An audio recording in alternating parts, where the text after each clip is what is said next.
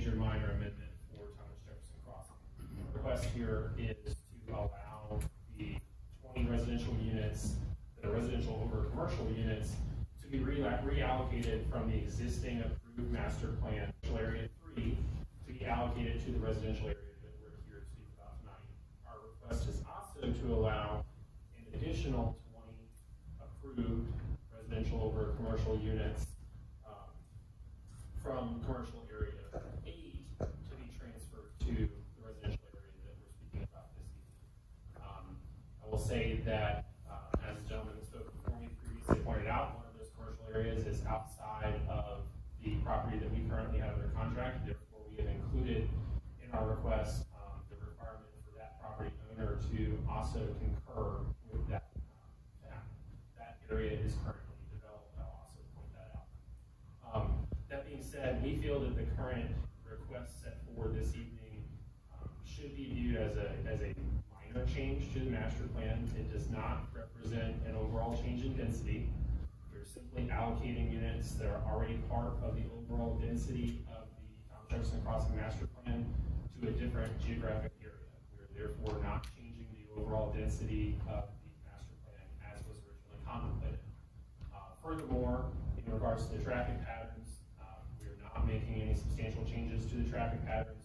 Uh, We are honoring the original master plan as far as the location of the primary roads uh, and making the connections that were shown on the additional, on the original master plan, which, as part of the traffic study that we have submitted to VDOT, um, will actually help reduce some of the burden on some of the existing interse- intersections um, that have some issues. Um, I'll also note that we have submitted a traffic study to VDOT for review. Uh, There's no doubt the developer can, can construct eighty-three or eighty-four residential dwelling units, residential area four, and twenty residential units over the commercial uses, in commercial area six, and maybe an additional twenty residential units over the commercial uses in commercial area number three, as noted on the approved two thousand five master plan. It, however, is important to note, commercial area three of the, of the approved master plan is not part of the parcel for which this amendment is being sought. Two thousand five, construction of all kinds in forest and surrounding areas, all of which rely on Route two twenty-one, has exploded. Just in the approved master plan residential area two, which is right behind my house, the number of residential dwelling units increased from eighty to ninety units in two thousand five when it was approved, over two hundred and fifty residential dwelling units in multiple apartment buildings. One can only wonder 2005 would have allowed even 83 or 84 residential units in residential area 4, and today's traffic situation existed back in 2005.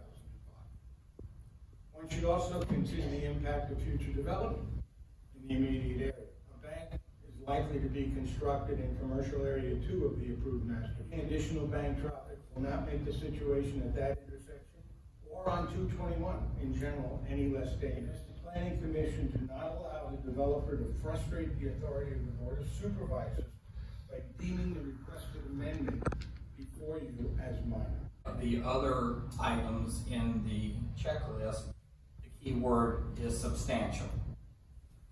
Um, anything will be a change. There's no argument about that. The key is, a substantial change? And that's in each of our opinions. Not a major change. It's not like the last one where they were trying to increase the density over what had been approved.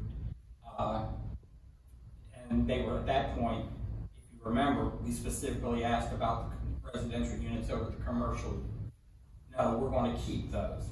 So they were still trying to keep, get, as we said, get the cake and eat it too. Well, They, they've given up, sense, they're giving up that by moving them.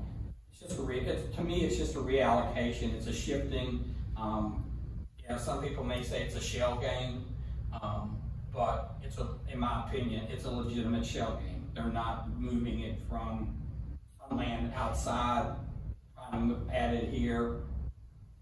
They're not trying to do anything over the number of units that are already approved.